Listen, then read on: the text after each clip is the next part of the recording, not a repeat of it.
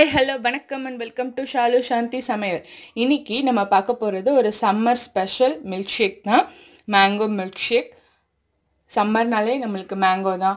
Kids எல்லாம் வீட்டில் இருப்பாங்க. இந்த மாதிரி வீட்டில் இருக்கிற சிம்பிள் இன்க்ரீடியன்ட் வச்சு எப்படி ஒரு சூப்பரான மில்க் ஷேக் பண்ணலான்னு பார்க்கலாம். மேங்கோ மில்க் ஷேக்குக்கு என்னென்ன இன்க்ரீடியன்ட் வேணும்னு பார்க்கலாம்.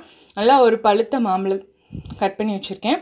அப்புறம் ice cubes sugar condensed milk Milkmaid உங்களுக்கு ஸ்வீட்னஸ் எது எவ்வளோ தேவையோ அவ்வளோ போட்டுக்கோங்க. நான் வந்து இப்போ சுகரும் போட்டு மில்க் மேடும் ஆட் பண்ண போகிறேன் நல்ல ஸ்வீட்னஸ்க்காக இல்லை நீங்கள் மாம்பழத்தில் இருக்கிற ஸ்வீட்னஸே போதும்னா இது ரெண்டையும் ஸ்கிப் பண்ணிக்கோங்க. மில்க் இவ்வளோ தான் நம்மளுக்கு தேவையான இன்க்ரீடியன்ட் இப்போது நம்ம மா மேங்கோ மில்க் ஷேக் எப்படி பண்ணலான்னு பார்க்கலாம். ஒரு மேங்கோ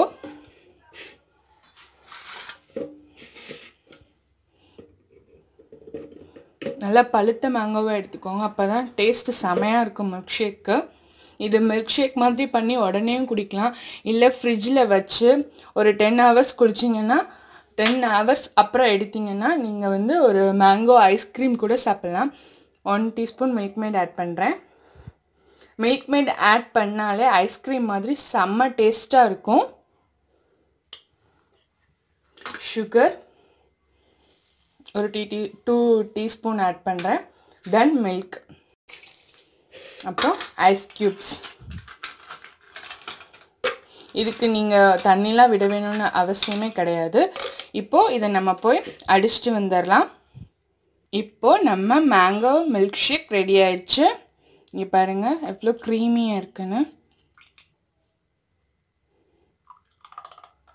இதை அப்படியே ஃப்ரீசரில் ஒரு டென் ஹவர்ஸ் வச்சுட்டு அதுக்கப்புறம் எடுத்திங்கன்னா இது மேங்கோ ஐஸ்கிரீம் அதாவது டூ இன் ஒன் ப்ராசஸ் இப்போது இதுக்கு மேலே நம்ம ஐஸ் க்யூப்ஸ் போட்டுக்கலாம்.